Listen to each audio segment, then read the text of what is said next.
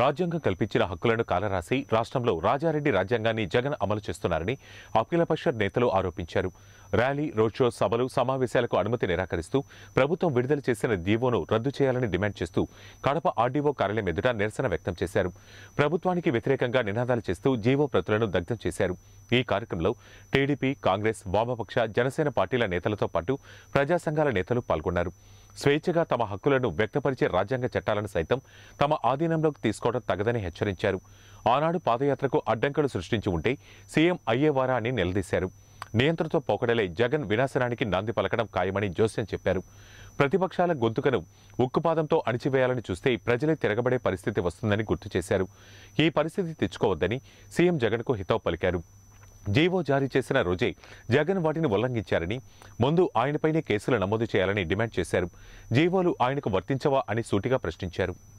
కూలి చేసే విధంగా ఎమర్జెన్సీ పెట్టే విధంగా ఒకటి పోలీస్ యాక్ట్ తెచ్చి ఈ దినం ప్రతిపక్ష నాయకులు వాళ్ళ పాదయాత్రలు అయితేనేమి వాళ్ళ బస్సు యాత్రలు అయితేనేమి వాళ్ళు జరుపుకోకుండా అడ్డు తగిలే విధంగా ఈ దినం పద్దెనిమిది వందల ఎనభై ఆరులో యాక్ట్ కావడం దురదృష్టకరం.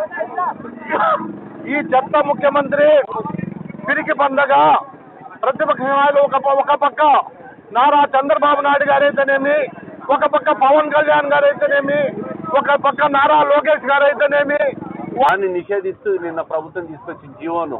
అన్యాయం అక్రమం ఇది ప్రజాస్వామ్యానికి విరుద్ధంగా ఇచ్చిన జీవో ఇది.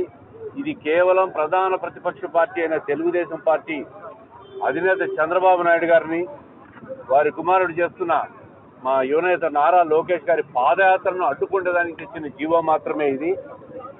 ప్రజాస్వామ్యంలో ప్రతిపక్షాన్ని అణిచివేయాలని చూస్తే ఎవరు తీసిన గోతులు వాళ్ళే పడతారనేది చరిత్రలో చాలా సందర్భాలు ఉన్నాయి. ఈరోజు అఖిలపక్షం ఆధ్వర్యంలో సిపిఐ కానీ సిపిఎం కానీ జనసేన కానీ ఇంకా వైసీపీ మినహా అన్ని రాజకీయ